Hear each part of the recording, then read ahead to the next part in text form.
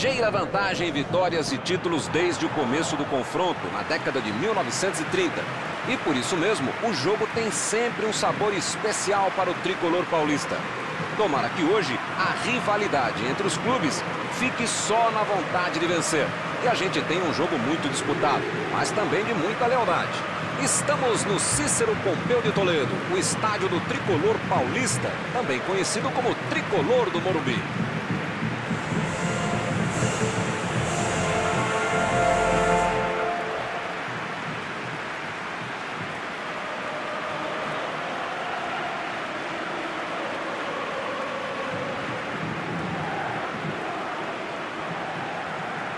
Este jogo só é amistoso no nome. Pode até ser amistoso, mas na boa, não existe amistoso em clássico, né? Como diz o presidente, né, do clube, ganhar do outro é um verdadeiro campeonato à parte. E é mesmo, né? É um campeonato e por isso o jogo fica muito mais interessante e com praticamente nenhuma cara de amistoso.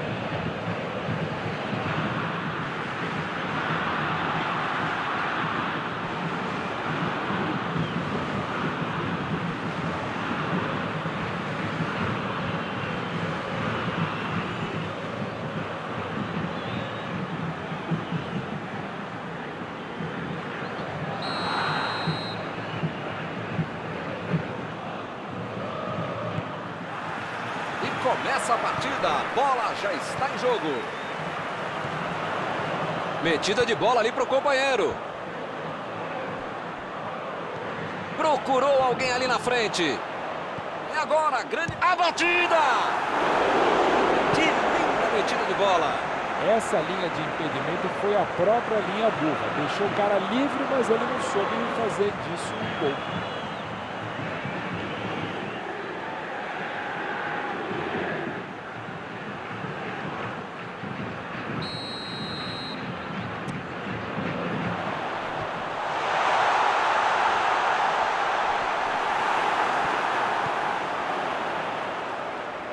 Enganou a defesa.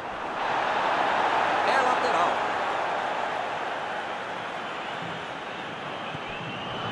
Passe pelo alto. E a bola vai nas mãos do goleiro.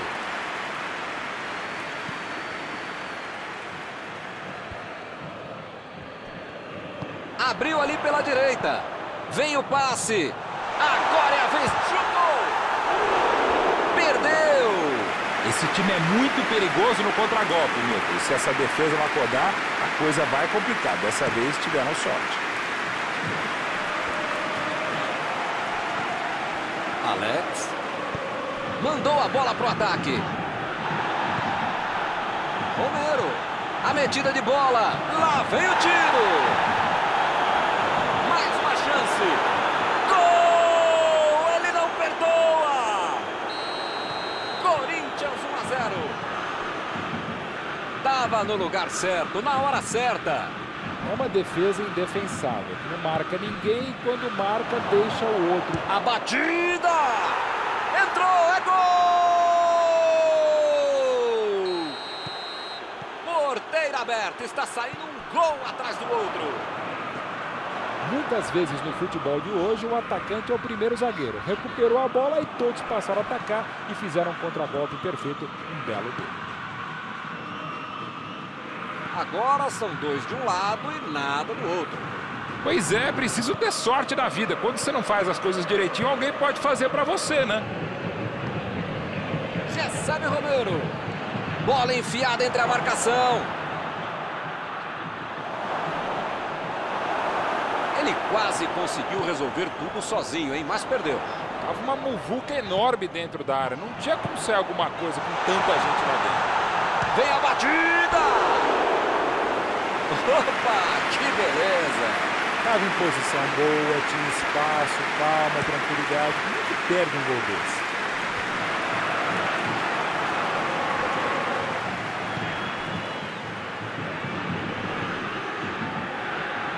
Bola enfiada pelo meio da defesa. Lá vem a bola na área.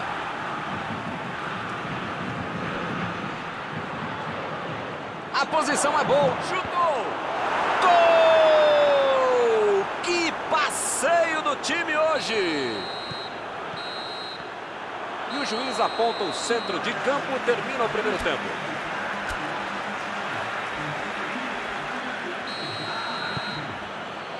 Vamos lá, pessoal. Já tem jogo no segundo tempo. São 45 minutos para mudar o panorama do jogo. Aí ele pensou, vou botar o cara para correr. Foi bem no lance, fez o corte. Mandou lá pro ataque. Mandou por cima. Vai chegar nele sim, vai chegar. E o time consegue conter o avanço do adversário. Conduziu a bola em direção ao gol. Tentou o passe, bateu!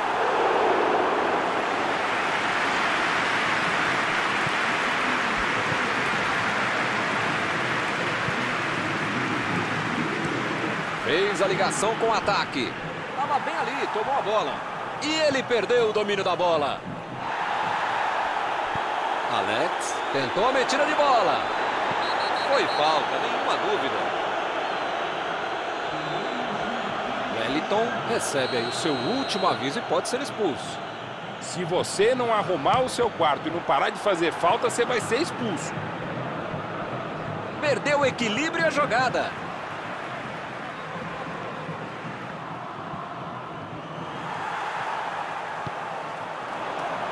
Lucas Moura. Rafinha. A metida de bola para frente. Chegou junto, roubou a bola.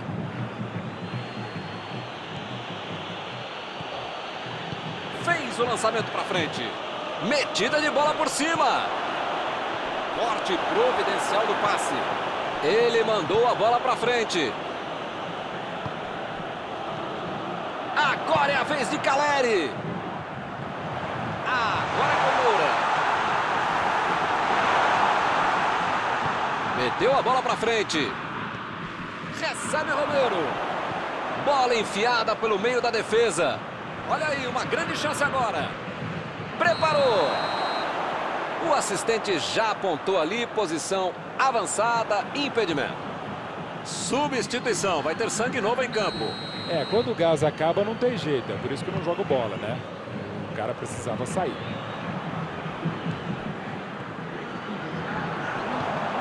Caleri. O chute! Vai tentar chegar no rebote do goleiro. Essa foi por pouco. E o juiz encerra o jogo. Perderam na disposição, na tática, na bola. Parece que eles já entraram em campo derrotados, hein? Que beleza. E o resultado é esse aí, hein? Que fase! Encerrada a partida, o que você gostaria de destacar, Mauro? Bom, para quem perdeu aquela história, futebol é caixinha de surpresa, cada jogo tem sua história, bola pro mato que o jogo de campeonato, sei lá, tem um monte de frases, mas nada explica ou justifica a dor de quem perde um grande clássico. Obrigado, Mauro, por estar conosco nesta tarde. E vamos, neste instante, encerrando a nossa transmissão. Muito obrigado, é um prazer de ofício estar contigo, Milton. Até a próxima, amigos.